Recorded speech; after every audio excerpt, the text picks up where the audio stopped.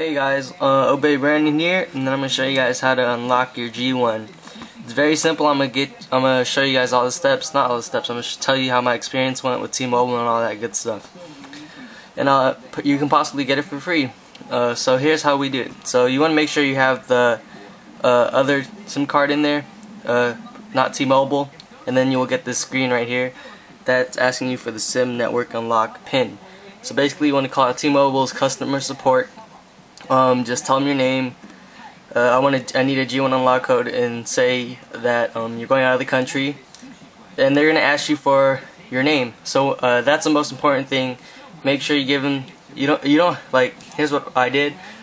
Uh, uh, I, I just said I was the uh, account holder, which is my cousin's mom, or using just to get a friend's uh, like let me try to get this clear for you guys say you have a friend and then they're the account holder just take their name. T-Mobile is not gonna know who that per what that person sounds like or anything like that.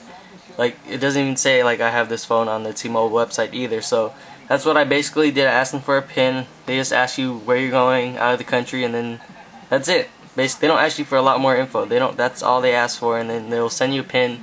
I had to call like three times because they never sent me the email. So on my third time, they sent. Uh, she read out me the pin, and I'm gonna enter that with you guys right now. So I have the pin in front of me. So let's enter that in. Nine, two, four, five, six, seven, eight, one. Crap. Nine. So if you guys have any questions, just feel free to ask, and I'll be happy to help you with this. So this is uh, a great way to avoiding paying like 10 bucks for an unlock code. So there you go, network unlock successful. And there we go. Um, I have to set up uh, some other options like that. Oh, I remember you had to go like to.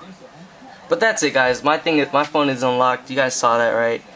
Uh, so basically, call T-Mobile, say you're going out of the country, they're gonna ask you, make sure you give a, the account holder's name. It does not, they're not gonna know who the account holder is. You can give them a fake name. Make sure that name like is like someone's account holder's name, or your friend's mom or something like that. Maybe the account holder, so give them that name. They're not gonna know if it's a boy or a girl. So that was basically it. Uh, lock your T-Mobile G1. I just did it. Been waiting a while, now it's unlocked. And then there's a few extra steps after this. You go to settings or something like that. Uh, not too sure. Wireless controls, mobile networks, and then I think you have to set an access point name or something like, or a network operator or something like that. I'm gonna have to read about that later. But that's how you're gonna unlock your T-Mobile G1. I think you can do this with a lot of other phones. Just call T-Mobile and ask them all that good stuff. So guys, thanks for watching. Please rate, comment, and subscribe. And feel free to message me if you guys need any more info or help uh, with this. Guys, I'll talk to you later. Peace.